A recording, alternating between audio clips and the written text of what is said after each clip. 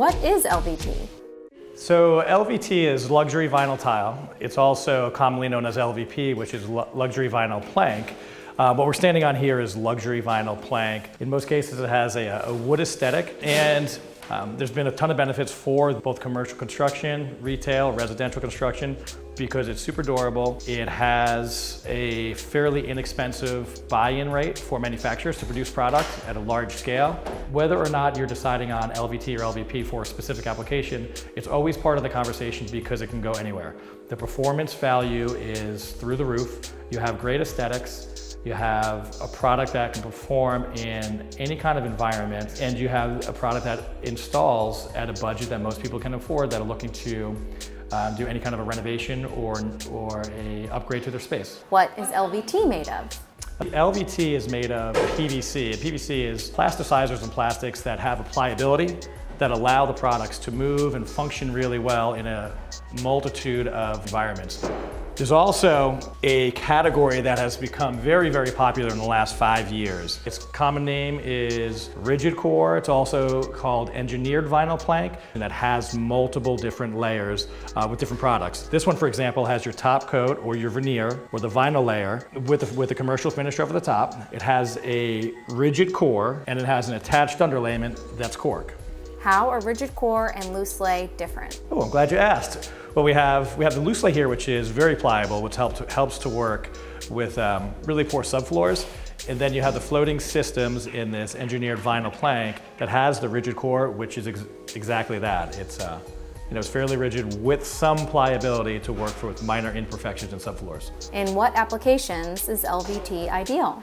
LVT is actually ideal for a ton of applications. This product class has really taken hold across, of the, across the construction world at um, a price that's going to fit most budgets for anybody who's looking to do any kind of a renovation or upgrade to either their office, their apartment, or any kind of a, any kind of a retail space. How is each type of LVT installed? You know, so we, we call this five millimeter thick vinyl plank a loose lay, but there's, there's a ton of benefits to the installation because of the versatility. It can be loose laid as manufactured. It can also be perimeter glue slash loose laid, which means that you have glue going around the perimeter to lock in the planks like a picture frame, and then it allows all of the other floated planks to sit in their place, you know, without having the opportunity to, to spread or to move. This can also be fully glued down, which is what's happening here because the subfloor had a ton of issues. The engineered vinyl products are really beneficial in several different areas. You know, one of the biggest that I can think of is with minimal floor prep, you can go over the pre-existing finished floors with this new finished product and it eliminates the need to have any kind of demo. The reason you can loose lay this product is because it is a click. So what, by click, what I mean is you have a locking mechanism that, that floats over the subfloor or the plank floats over the subfloor and then you have an adjacent plank that clicks into it, locking both planks together. You expand that over a large space where all of the planks are connected as one. They swell as one, they shrink as one, and there's no need to glue them to the subfloor at all. We always talk about subfloor prep. With floating systems like this, it's very important to have your subfloor within a flooring tolerance generally gonna be an eighth of an inch every 10 feet. I feel that these products work really well when you have either rectangle or squared up open spaces and you have the opportunity to have expansion space around the edge to allow the product to move, to expand and contract throughout the seasons depending on the humidity levels. Now this is not to be confused with loose lay products that are on the market that also have the opportunity to be glued down. In this case, we have a five millimeter thick, very heavy LVT floor, seven inches wide, and what happens here is you put it down, there's so much mass, there's so much weight to it, it does not need to be glued down. However, in some scenarios, it's probably prudent to glue the floor down to ensure that it doesn't move, it stays stable, you have a long life cycle. The biggest advantage that I see with the square edge loose lay is that it's not connected the same way that the click floors, floors are.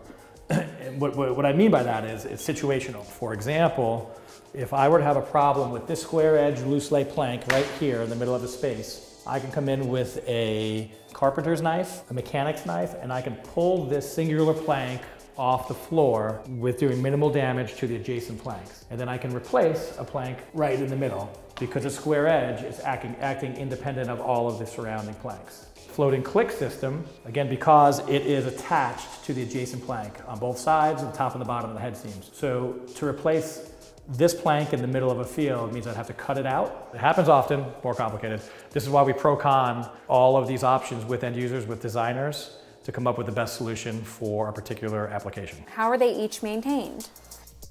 Overall, the maintenance is going to be the same.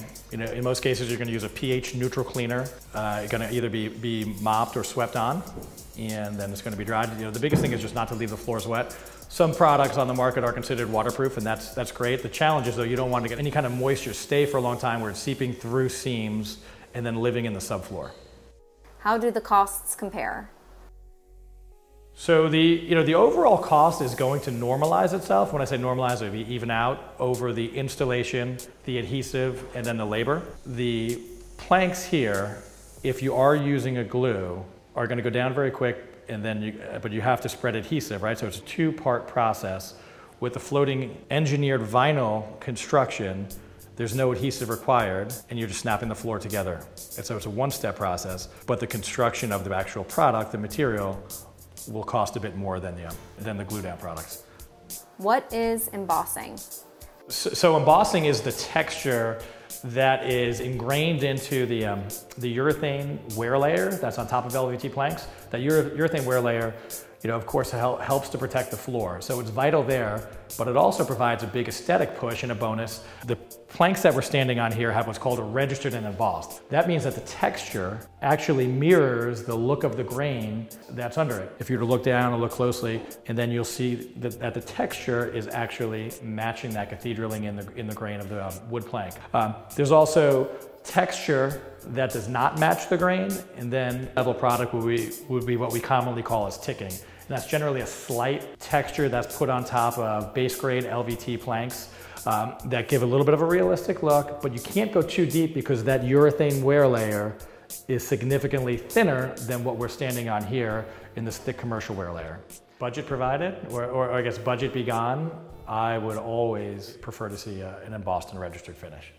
How do you pick between all the options? You know, I think you hit on it by all the, when you said all the options, because there are so many options, not just from a product standpoint, but there's so many options and variables in the field. Um, my pro tip would be to ask as many questions as possible prior to giving a recommendation for a, for a product. All projects are not created equal.